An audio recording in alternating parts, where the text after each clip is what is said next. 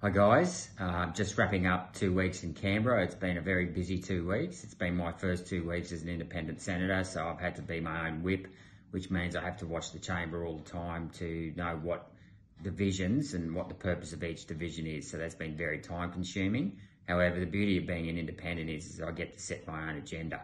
So as I've said previously on social media, last week I moved a number of motions to have inquiries into certain matters that I'm very passionate about. The first motion that we moved was to have an inquiry into the duplications of roles and responsibilities of state and federal governments in Canberra.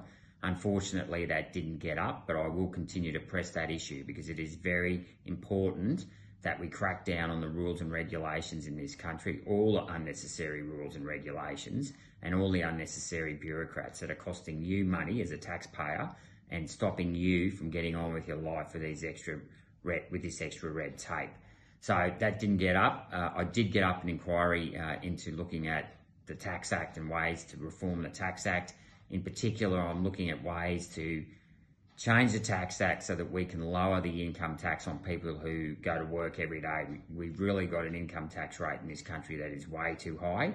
I hate taxes on people's wages. I think it's terrible, and we really have to lower that. And one of the suggestions I've made is to increase the rate of withholding tax on profits offshore. We've got to stop letting our profits go offshore because what that does is it means we've then got to borrow more money and it also enables foreign corporations to come in here and undercut local Australian businesses uh, and then sends them out and then puts them out of business as well.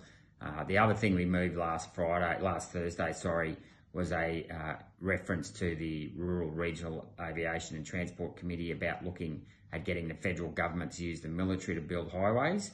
Unfortunately, that didn't get up, but I will also continue to press that because even Eisenhower himself, the great general, knew that he needed the military to build federal highways. And I just think if we want to become self sustaining as a country, we can't continue to rely on foreign building contractors to build our highways. We have to be able to build our own infrastructure in a very fast and efficient manner, uh, or otherwise, you know, how are we going to have a country that's self-sufficient?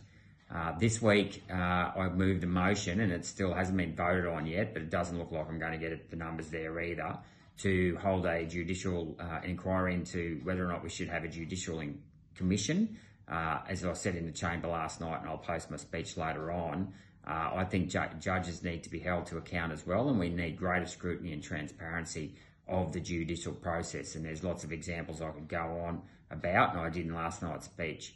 Uh, the other thing we did last week was we attended the farmers rally in Canberra because we want to help our farmers. We love our farmers.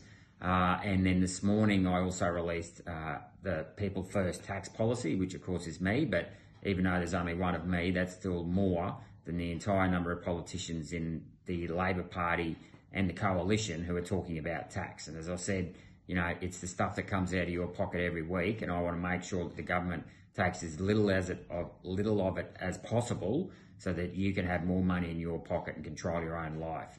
So anyway, that's a wrap up here from Canberra. I'll be back in my electoral office for the next couple of weeks before coming back here, and then after that, I'm planning on, I'm in the process of organising a trip around regional Queensland.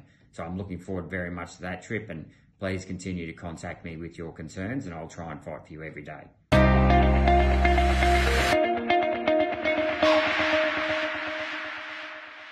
Authorised G. Rennick People First Chermside.